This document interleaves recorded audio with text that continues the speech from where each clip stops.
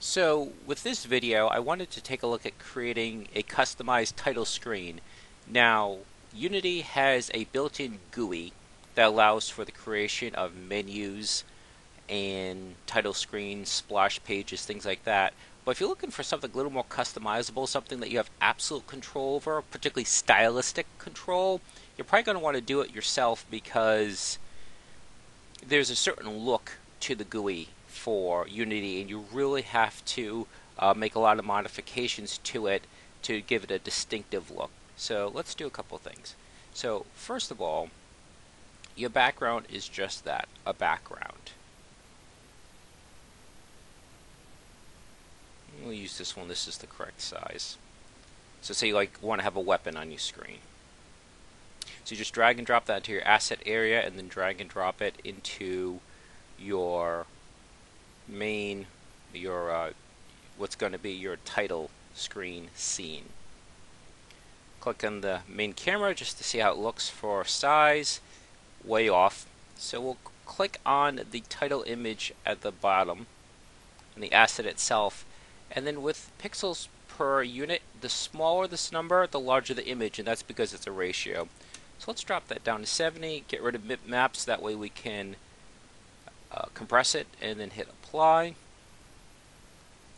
That's much better, but we'll go a little bit further.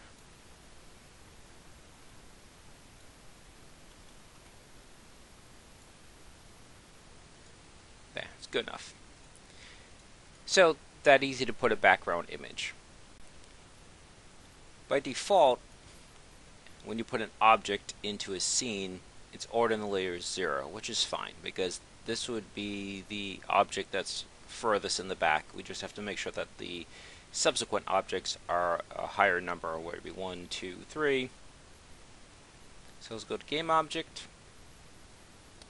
Let's go to create empty, add. We're going to do a mesh and do a text mesh. Character size, drop that down to 0.15. You can anything in that range 0.15 0.2 anything bigger than than that and it gets blurred for some reason. Now so we've done that so let's copy this and we want three of them.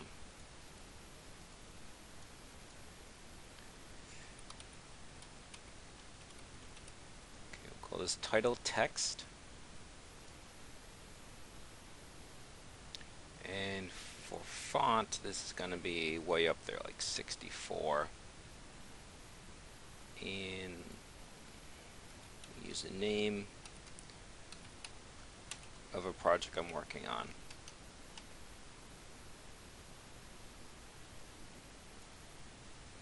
Now if you notice, it's behind that, the, uh, the background image. So basically what we're going to have to do is we're going to have to uh, attach a script that brings it forward, which is easy enough. We have to attach a script anyways for a few other reasons.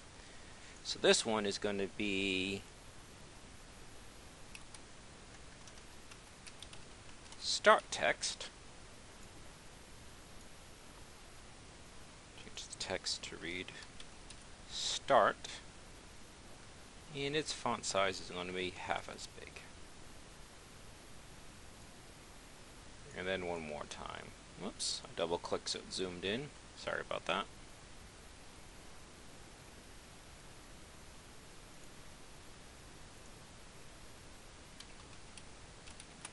We might not actually do the load functionality because that has to deal with uh, saving first and that itself is really a tutorial.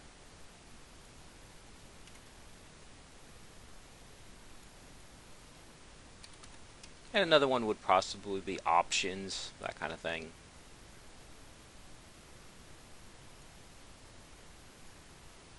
As well as any other top level menu, like sometimes there's uh, watch intermissions that you've already encountered, things like that. So let's quickly view that to see how that's looking. Okay. Let's bring that one down a bit. Bring that one down. So let's start prepping some of these objects for interaction with the player. So in order to detect a mouse click, because that's what we're going to use, we need to add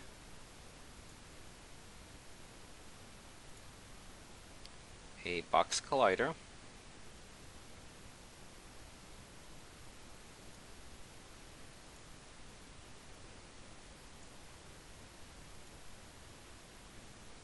you can trim if you click on edit collider you can shrink in the borders but this is really just looking at the broad strokes. Now what we're going to do is we need to add a script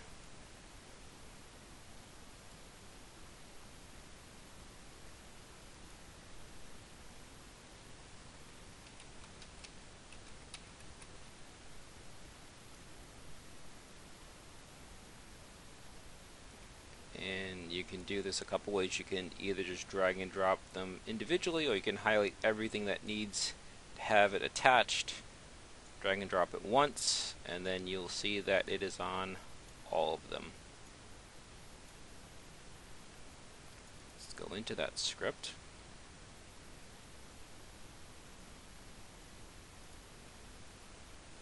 And outside of the update section, so it needs to be its own routine,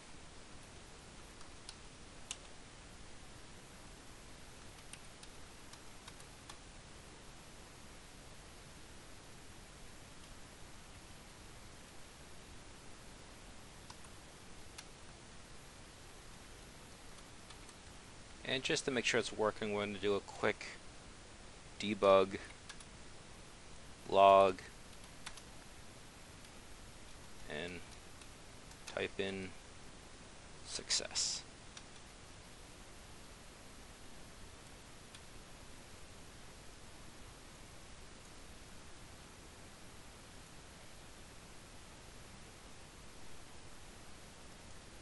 And it read success down there.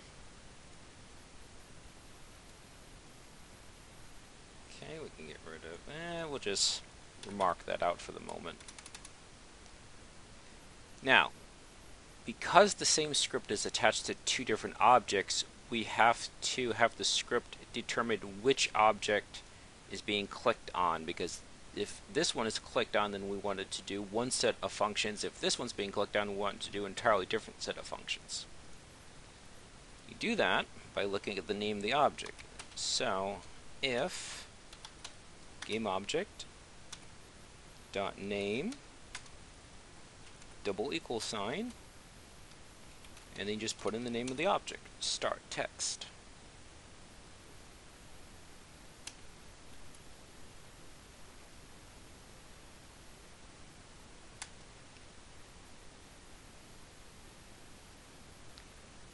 Now what you would do here is we're going to put in a command that says to load the level. So what we're going to do is first we need to save this as a scene. We'll call it title. And there it's saved as title.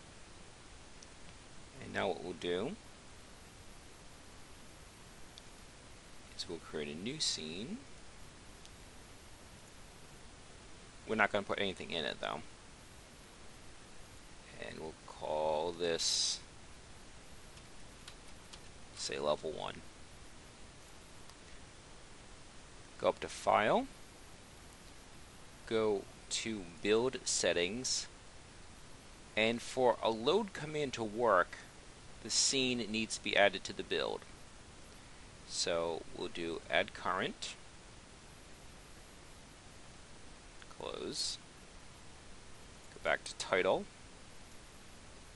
build settings, add current. You can just drag and drop if you want the order to be different. Now the reason why I did that is so we can actually put this in. And this is really one of the biggest, most important bits of code for this because this is how you actually travel from the title screen to wherever it is that you're going. So application dot load level and then you just put in the name of the level. And we called it level 1 I believe. Yep. And we'll test this. So what's going to happen is the screen should go blank because there's nothing in that. But that'll tell us that we've gone to the new scene. So we're going to run this. Click on start. And sure enough it went blank so we're actually in um, level 1 now. Now let's go ahead and bring everything to the front like we mentioned. So we go back to our script and in the start section, I'm going to use a good old standby get component and its renderer. Sorting order. And you just say what order it should be. We'll say 5 just in case there's a couple other layers in between. Save that. So as you can see currently, the blade is over the text. We run it, and now the text is over that. Let's just increase that a little bit. A little bit more evident.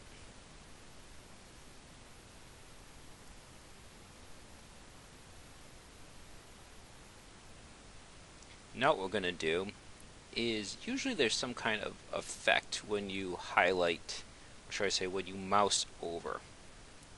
Maybe the image gets bigger, maybe it changes color, so let's just review a couple ones like that.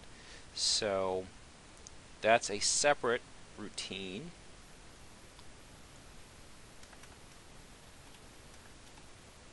So it needs to be outside of the other routines. You need to be outside of void, outside of mouse down, it is its own.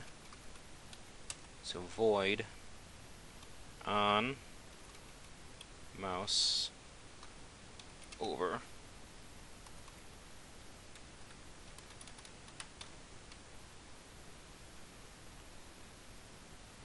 And for this, we'll use get component and it'll be text mesh.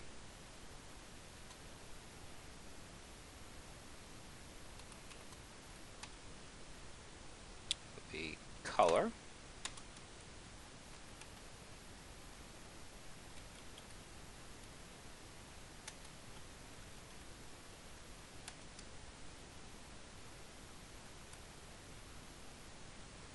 Let's give it kind of like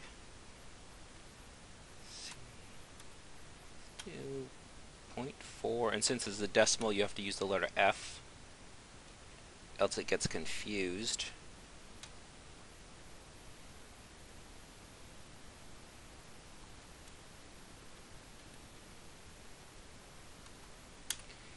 Now, again, because this script is attached to even the title at the top, it would have that effect and we don't want it to. So you, once again, you have to check to make sure only that one is being affected. The way around is you could have a separate script attached to this one. Entirely your choice. I try to minimize scripts. Your preference may be to have more scripts but have them be more focused. It's purely design. This type of game, it's going to have no meaningful impact on performance. And there, just like that, mouse over. But now when the mouse moves, color stays, which you don't want. So that's where we get to the next one.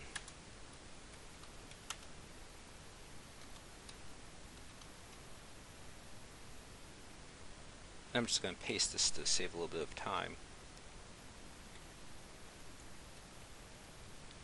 So just as this routine was on mouse over, this one is on mouse exit. And you just set the color back to 1 save this. There we go